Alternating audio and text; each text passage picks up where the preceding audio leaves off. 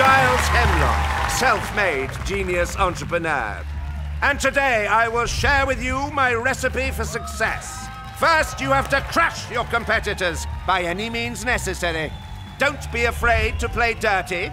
Lie to them, sabotage them, and buy them out. Be ruthless. Uh, wait a second.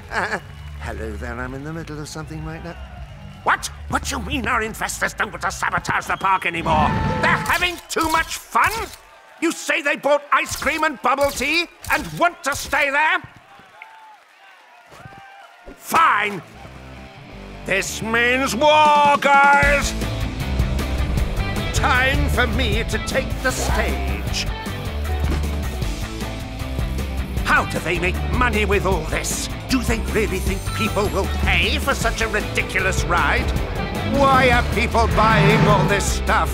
Wait, are they selling the new and ultra-trendy Kurkuma Latte? How?